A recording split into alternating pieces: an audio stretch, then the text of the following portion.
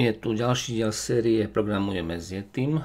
Venujem sa jazyku JavaScript. Využívam pritom stránku JavaScript Info a vizualizer na stránke Python Tutor. Pokračujeme transformačnými metodami. Začíname metódou reverse. Táto metóda premení poradie prvkov v poli. Majme pole s prvkami 1 až 5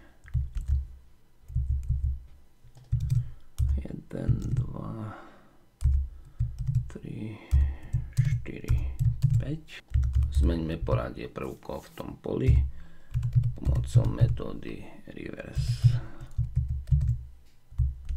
Vizualizácia pole 1, 2, 3, 4, 5 a pole 5, 4, 3, 2, 1. Čiže táto metóda mení pôvodné pole.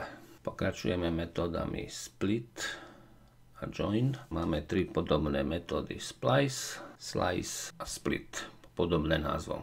Máme situáciu z reálneho života. Vytvárame aplikáciu na posielanie správ. Užívateľ vkladá príjimateľov správy, ktorí sú oddelení čiarkou. Pre nás, pre programátorov by však bolo lepšie, keby sme mali namiesto reťazca pole mien. Ako to dosiahneme? Dosiahneme to tak, že použijeme metódu split, ktorá má parameter oddelovač, ktorý určuje znak, pomocou ktorého chceme oddeliť prvky pola. V príklade, ktorý si teraz ukážeme, bude tým oddelovačom čiarka, za ktorou nasleduje medzera. Majme teda reťazec s menami.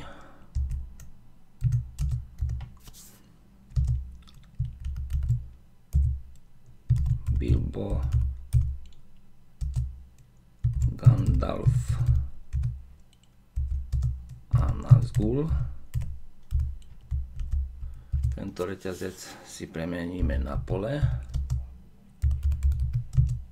pomocou metódy split. Takže mena split a ten oddelovač bude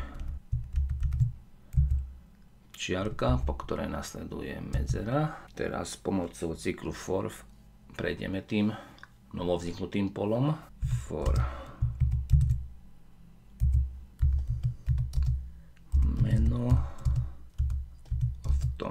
poli no a pre každé to meno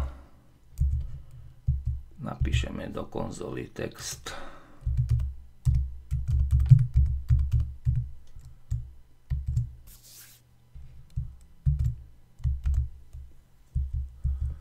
Využijeme spätný apostrof, aby sme priamo mohli vkladať do toho reťazca hodnotu tej premennej meno.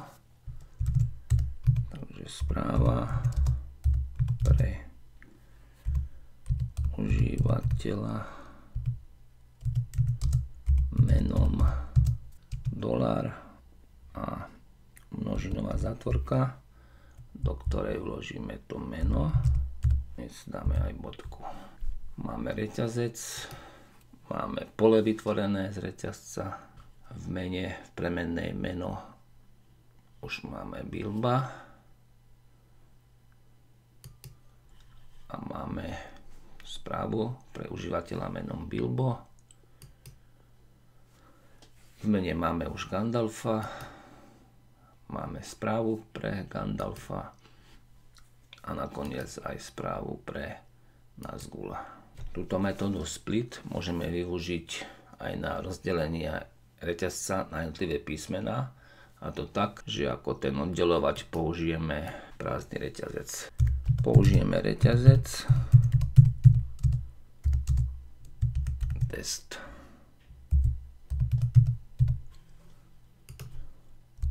vytvoríme si novú premennú písmena,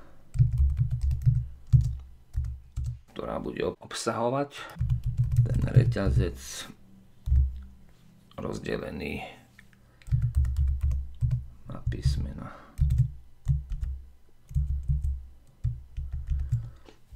Tu nie je ani prázdna medzera.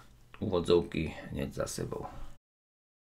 reťazec test, pole písmena. Opakom metódy split je metóda pola join, ktorá vytvorí z prvkov pola reťazec a vloží medzi nich nejaký spojovací znak. V našom prípade tým spojovacím znakom bude bod kočiarka. Takže vrátime sa k polu tými menami z pána prstenov.